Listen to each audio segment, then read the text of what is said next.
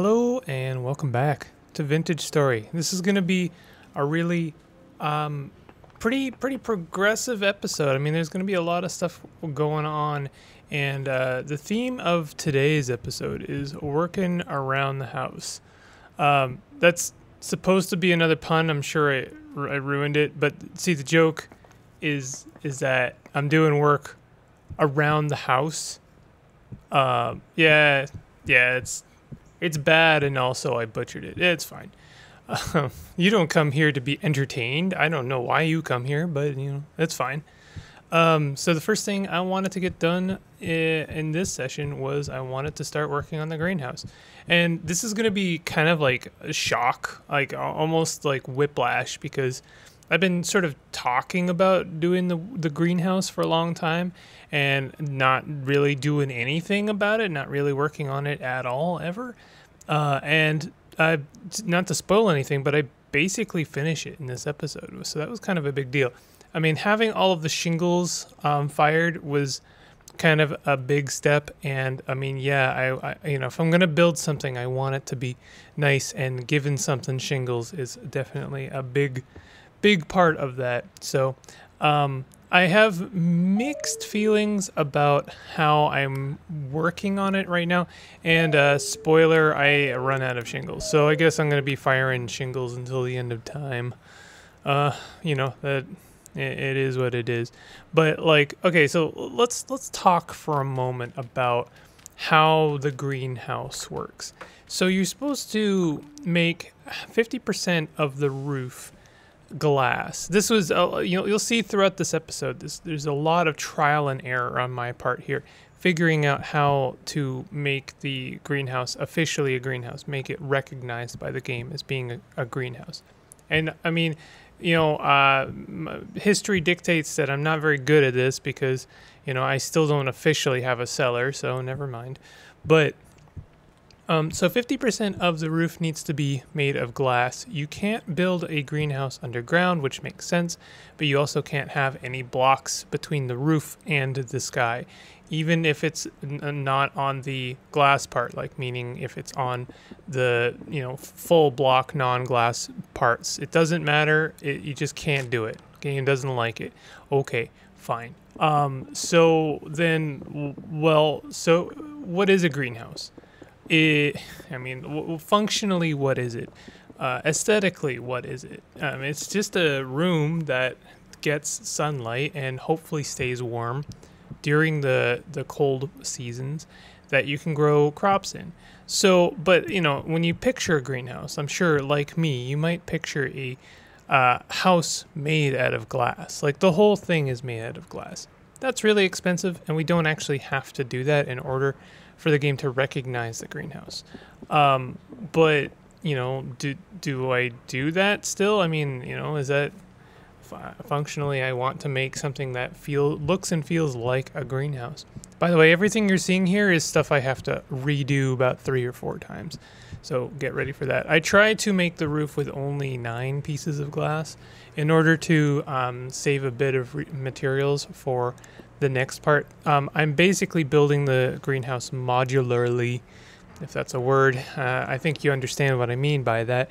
It's going to be basically two by three buildings exactly like this uh, seven by seven interior rooms uh, that are sharing walls and have uh, you know enough glass in a ceiling or a roof to be considered a greenhouse. Uh, and in this way, I can build them with modul- modularity in mind, meaning um, you know certain parts of the roof don't need to have shingles uh, because they're actually going to be other separate rooms.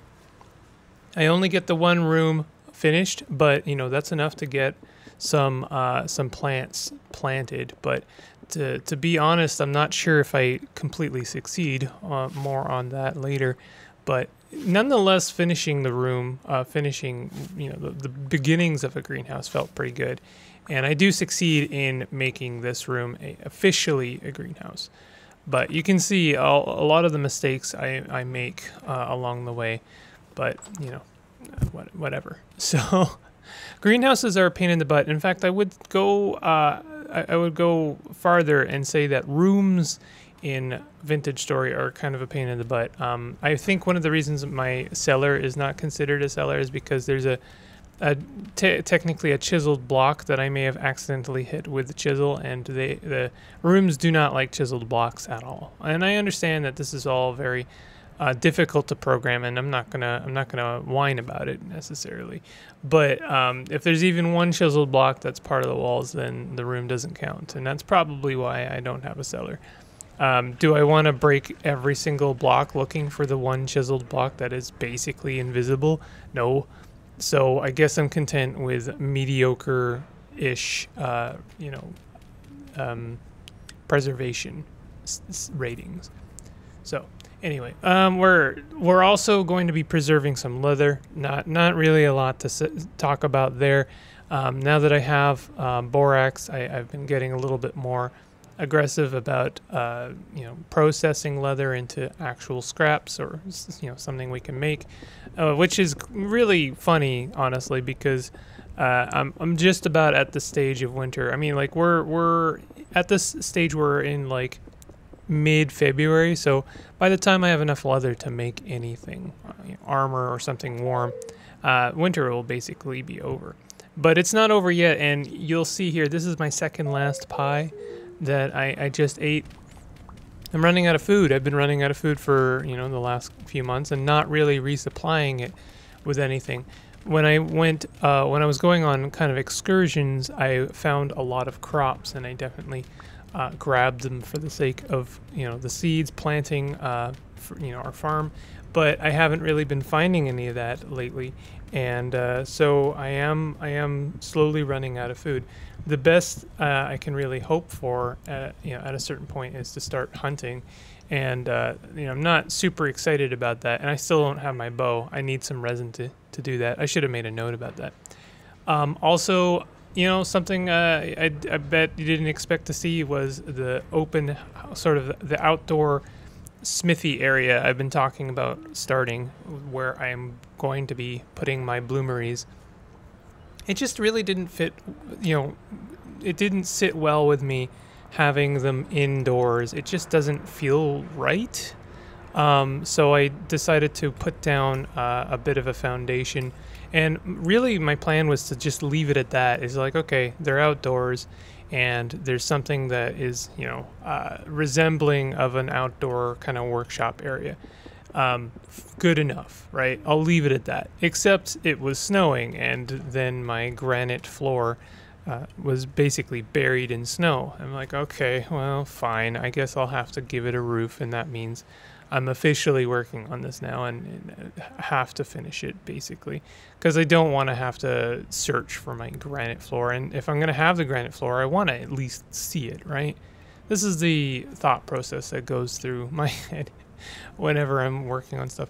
Here, uh, I decided to make use of the saltpeter and um, the the bone meal that I've been saving over the course of many months, and uh, make that greenhouse really, really shine. Uh, I don't have a lot of high fertility soil, but that's okay. The high fertility soil is actually not. Um, it's not necessarily a massive game changer. Apparently, it's only like 65% fertile compared to I think 50% uh, fertile uh, on the medium soil. Not saying that's not a big difference, but I am saying it's a lot of work for that 15%. So um, you know, i am content just like using some of our uh, fertilizer to make the the medium fertile fertile uh, uh, ground. I don't know. Sorry. Um, you know, good enough. I, I think that should be fine. And you know, the crops are going to be growing way quicker than they ever were in my like crappy outdoor farm. That should be pretty good. Um, needed more tools. This was actually um, a really good idea. I made two pickaxes, and I really like I, I don't know like what what possessed me other than kind of laziness. Because if you're going to smith, if you're gonna do any smithing, you basically should make two tools, because otherwise you're wasting uh, you know a, a, fuel source you're kind of wasting that extra fuel source you could i'm sure you could math out how much fuel you need to exactly uh, heat up one bar but i think it's just easier to heat up two bars So I did. So therefore, two pickaxes, and then I also did a shovel and an axe, a normal axe for cutting wood, because uh, you know I do a lot of that, and I'm going to need a lot more. Um, I come to one of my digging spots. Apparently, I'd been here before. I don't remember it, but there's a lot of those now, um, kind of peppered around the map. And I wasn't sure what I was looking for here. Honestly, I wanted copper. I do find copper, although I couldn't really find the when, but I know I got some. But also, this apparently was a spot I had abandoned because, oh, there's black coal here and I can't uh, mine black coal yet but now we can because we have bronze tools. So I decided to basically, you know, dig up all the black coal. Turns out that there is just a monumental, huge vein of black coal in this spot. So I decided to just like, you know, spend a bunch of time digging out the black coal. I figured if if this keeps going at this rate, then I'll basically have enough black coal that I don't need fuel source for you know years in-game years. Um, so I, you know this was kind of a, a nice little cozy uh, respite from building and decorating and uh, planning and all that stuff you know? It's something i'm constantly going to need and uh, we can always make use of the black coal i'm pretty sure black coal is the best we can really hope for. We can eventually turn it into coke but I'm not at that point yet, and I don't really think I will be for a while. The coke is, I think that's when we start making steel or caring about steel. Um, that's an entire process that I don't really even want to think about. I'm not even at iron yet. Uh, lots of stuff to do. Um, people have been leaving me very helpful comments when it comes to my uh, occasional query, um, and I really do appreciate it. Y'all are, are, are really uh, great. I think the vintage story community is is very kind and and not very uh, you know gatekeepy, and it, it feels nice. Like like I ask a question and it's like yeah, I mean that there's a there's some reasonable answers here, and and no one's very mean about it. I thought I'd accidentally made tinted glass, but it turns out I I, I broke my bloomeries very soon after they were done, so the class was still high temperature. It's little details like that that I think make vin- set Vintage Story apart from other games. I know it's just it's a really small thing, but it's it just I don't know. It makes me feel good. Like it's just like that's that's clever and it it makes sense and it kind of roots that in reality. It makes it rooted in reality and therefore le- lends a bit to my immersion. So I, I really appreciate little details like that. So um, aside from getting the greenhouse done, as well as my outdoor bloomery, uh, I also wanted to work on the windmill, and I do end up basically completing it. Not quite. Um, obviously, again, mechanically speaking, the windmill is not done and it won't be done for a long time. I'm gonna probably need to get into animal husbandry before I consider uh, finishing the mechanisms of the wind windmill. But for now, um, aesthetically speaking, structurally speaking, it is a complete building, and I'm I'm pretty happy about that. It's been a long process. This whole thing has been a long process, but like you know, when you actually finish something in Vintage Story, that that feels pretty good, and uh, you know, it, it's a a milestone. You feel like a lot of things have kind of culminated into one big uh, thing. And I, I like how the roofs meld together. I think I did a pretty good job of that. There's a few things I'm not happy with here and there about how the windmill's actual roof looks, but I'll have to, you know, I'll tinker with it later. I do want the like actual interior of the windmill uh, to be accessible as well as like climbable. I'm thinking I'm just going to leave it as being um, like a ladder kind of thing. But that being said, there there are options. The interior of the windmill is actually quite large um, in the grand scheme of things. But you know what else is new? It seems like every time I take on a new task or like a new building, is like yeah, let's make it literally as ambitious as as possible. And uh, you know, just, you know, not let's, let's not care at all about time or material cost or anything like that. Like, let's just make it as big as one could, you know, make it.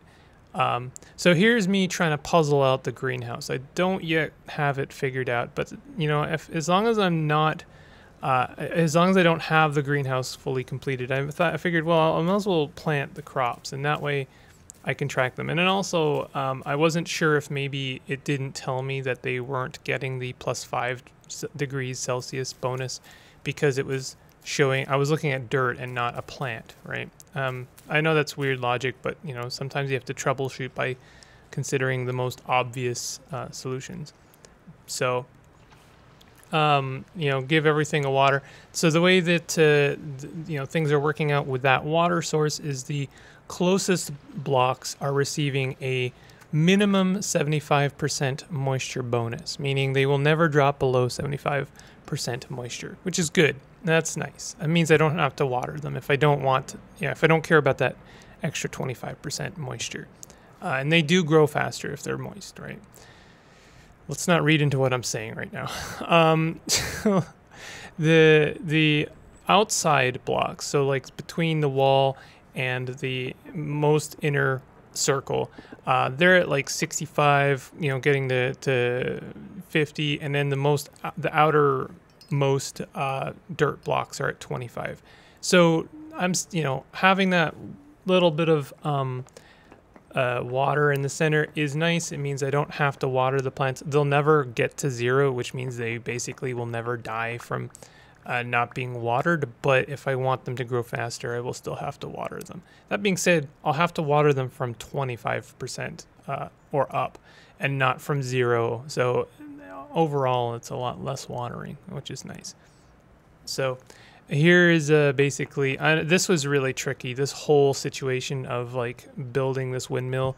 And uh, you know i still i still don't really have the ability to you know float around them or uh, build any kind of structure to, to, to do that. Well, not easily anyway so i decided to make use of the ladder. The ladder that i thought was going to be permanent for the ladder or uh, for the windmill but ended up not being permanent because I realized it was going to go through the logs, which I did plan to extend towards the windmill. Made sense to have that kind of structure that was like holding, you know, and also like attaching the build the, the building, the the main kind of. Uh, someone said longhouse, which I think is is fun. The, the longhouse to the windmill.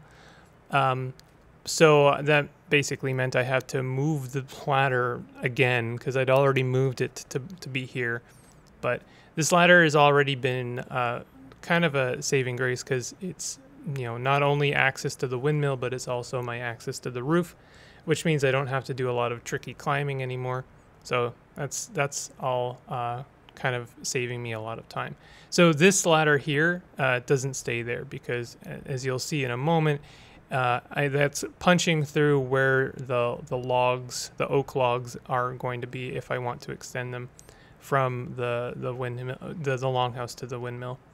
I hope all of this is very interesting for you. I know it's a it's a weird process, and I have to appreciate people who like watch this series and get a kick out of my process, and uh, you know just sort of enjoy vintage story as a concept, and as well as like as a you know they're there's a pretty thriving community of vintage story players, which is is nice. I, I appreciate that.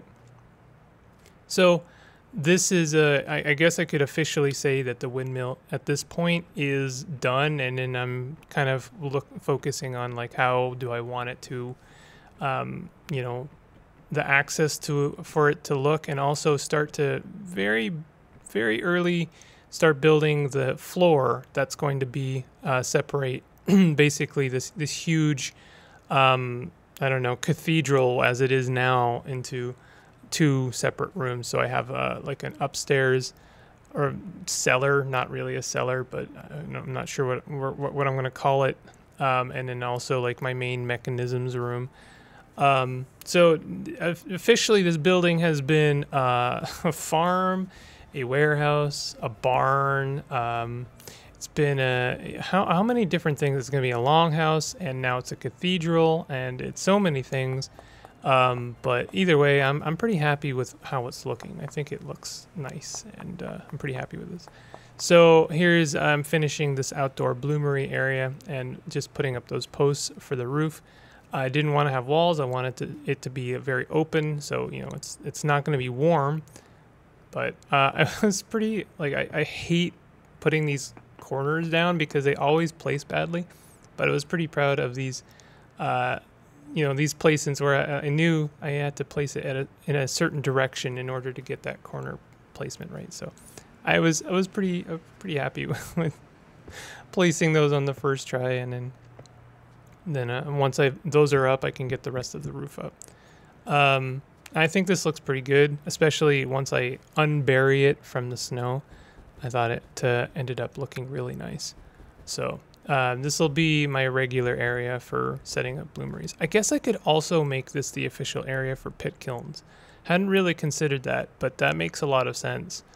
Um, I don't know. Let me know in the comments. Maybe uh, should I keep doing the pit kilns in the basement, or should I um, use this area for for pit kilns? Makes sense because I mean that's sort of what the area is for. Is for uh, smelting and, and heating stuff, and it has lots of air circulation. But I don't know. I have I have I, I don't know how I feel about that. Decided to take a moment um, because you know this area felt pretty bare to uh, make a make some furniture, which is uh, I know is one of those things that you know eventually this whole place is going to be filled. I hope with little decorations here and there that make it feel lived in and make it you know rooted in some kind of reality. So uh, I, t- I took a moment to uh, actually make some furniture, and I made I made a chair, and I thought I think I did a pretty good job on the chair. Um, I know I can add materials. I kind of addressed that comment, but um, I don't really like adding materials to uh, you know a device or block when I'm using the chisel because it's kind of cumbersome. The UI is kind of cumbersome. So I just kind of pick a material that I like and then work with that. Uh, it does mean that my uh, furniture, my decorations are going to be kind of stark, but I'm hoping uh, they'll complement each other enough that it won't matter too much. Also, it's just like you know, it's a lot of time and effort to make a thing, and I think that the, you know you can make it look nice without necessarily going uh, above and beyond. And if I make one thing really nice, then uh, my kind of anal retentiveness will force me to make all of my furniture look nice. And I feel like I'm already being a bit too ambitious with a lot of my uh, constructions and, and buildings. Like this one, for instance, where I decided, I don't know what compelled me, but I decided that my uh, whole, my setup, my uh, house needed an outhouse. So I decided to build an outhouse. And, uh, you know, like, like anything else I make, I, I wanted it to look good. And I don't think it does. I think it looks pretty bad actually. But um, I'm content at least because I don't think any outhouse looks good. So I think um, you know mission accomplished. Honestly, it it does and looks exactly as it should. Um, I'm sure people are going to have mixed feelings about this whole process, and largely you can see time passing in game.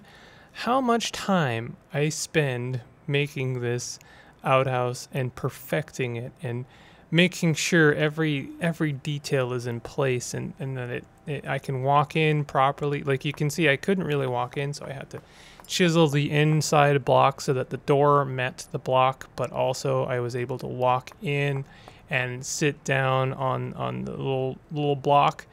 And uh, so that that was functional. I wanted it to be functional. I needed to be perfect. You know, it had to be everything. And you know, go above and beyond. I wanted it to function as well. So I wanted to be able to literally throw blocks into into the little trough into the little hole. Um, no, no, this is not a simulation. It's not a simulation. I just wanted to be able to do that. I thought that would be fun. But um, karma really kicked my butt here because I couldn't get out of the outhouse and then I fell into my toilet. So that was really really good. Had to dig my way out and then uh, figure out, you know, make this block a little bit more shallow, and then I could get in properly. And then, and then why not? Let's give it a sign, and yeah, let's let's make it absolutely ludicrous. And uh, I did actually model that mount that outhouse uh, after the Shrek um, outhouse because that's the that's the what I think of when I think of an outhouse is Shrek's little uh, outhouse with the moon door. I don't know. It just it, it feels classic to me, you know. So finally figure out the greenhouse. Uh, figured out that I couldn't use sloped blocks as part of the roof. Have to use full blocks only. So once I finally uh, put the, I put in birch wood at first just to test it, and I was finally seeing that plus five degrees Celsius um, because of greenhouse. So knowing that, I decided to fix the roof uh, so that it was final and actually looked good. Um, fortunately, Vintage Story is very kind about um, you pulling glass blocks up or picking them up. It still sounds scary when you do it. Like it still sounds like you're breaking them, but you get the blocks back. So that's really nice. Didn't have to make a whole bunch of more glass just because I placed them badly. Decided uh, also to make more use of signs to try and remind myself of things that I needed, but this sign ended up being redundant because I eventually just chopped down the oak tree in front of my house in order to uh, sate that requirement. So that sign goes bye bye. But I, I, ought, I ought to set up more signs uh, including signs on top of the uh, chests to let you know tell me what what the theme of the interior materials are. Yeah, here's the here's the oak tree gone, uh, which I felt a little bit bad about. I, I kind of like the trees I've got around um, my house as a as a decoration, as a flourish. Um, and here's me checking out the windmill. How does it look? How does it attach? There, are there any flaws and problems? And yes, there are. You can maybe see a couple that are of details that are missing and not really consistent with the rest of the design. So I will get back up there and I will fix it. And here, so here I, I haven't quite figured out, they, these plants have gotten the plus five degrees Celsius from greenhouse. You can see that up in the middle uh, info tab. But um, I, they were still dying um, so, and they're also still saying growth stunted due to cold. So it may be that it's just very, very cold, and that plus five degrees doesn't isn't going to cut it. But I don't know. Maybe maybe let me know if uh, greenhouses are not actually super effective, or maybe I just haven't figured it out yet. Either way, uh, I hope you enjoyed this. If you did, definitely hit that like button. Consider subscribing for more content like this. I'll see you guys next time. Take it easy.